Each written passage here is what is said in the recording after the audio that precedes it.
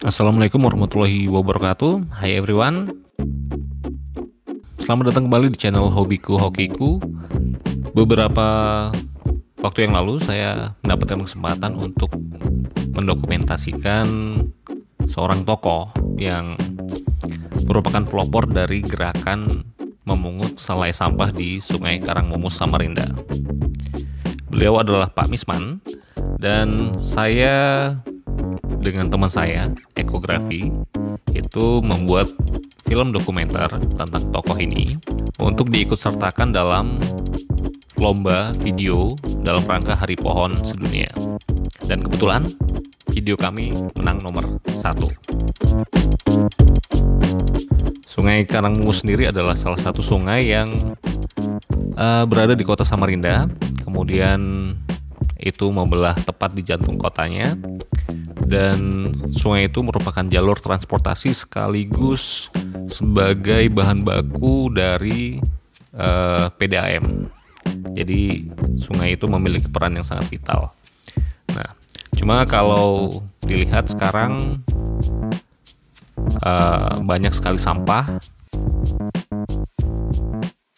Saya tidak pakai sarung tangan hari ini. Biasanya saya ditegur, tapi saya sudah terburu-buru. Saya tetap akan memungut sampah di Sungai Karangmus dengan tujuan tidak untuk menghabiskan sampah di Sungai Karangus, tapi untuk mendidik manusia berbudi luhur terhadap air sebagai sumber kehidupan penting bagi manusia dan makhluk Tuhan lainnya. Tanpa air itu tidak ada kehidupan.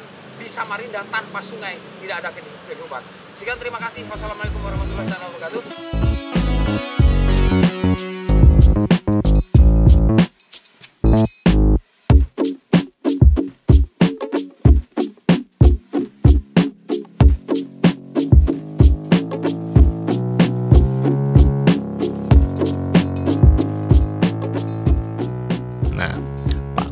Ini seorang tokoh yang mempelopori gerakan memungut sampah di Sungai Karangmumus. Jadi beliau dan organisasinya itu secara periodik melakukan kegiatan bersih-bersih sampah. Tidak hanya itu, tetapi beliau juga melakukan gerakan untuk melakukan penanaman vegetasi di sepanjang tepian Sungai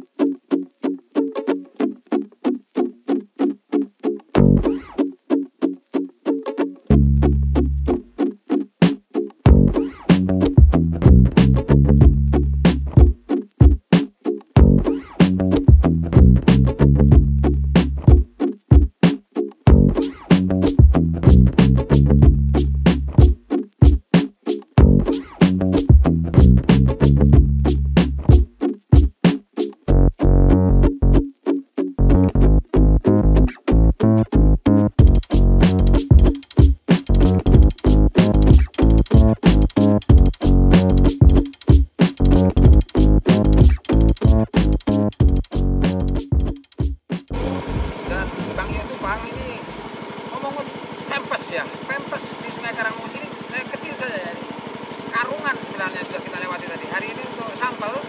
Wah ini seperti ini, ini baunya luar biasa ini pempes ini. Gitu ya, jadi uh, repot. Dan tadi sepanjang sungai memang banyak masih yang melemparkan ke Sungai Kerangmumus.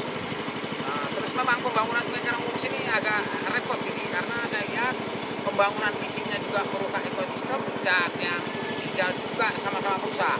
Jadi untuk memulihkan Sungai Kerangmumus menjadi sebagai sumber air kehidupan memang perlu perjuangan yang luar biasa baik dana dan pengobatan. Saya kira pempes nah ini bapak juga salah juga. Kalau dihabisi ya sungai Karamus rusak. Jadi sebenarnya manusia harus jangan serakah tapi ini haknya sungai berikan vegetasinya kasihkan. Kalau mau selamat tapi kalau nggak percaya habisi aja. Ada juga akan dihabisi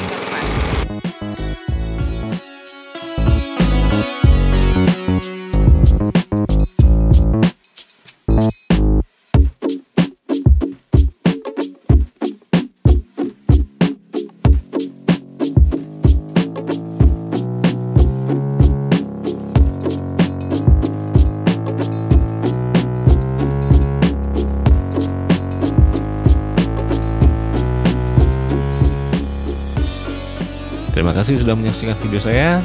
Assalamualaikum warahmatullahi wabarakatuh.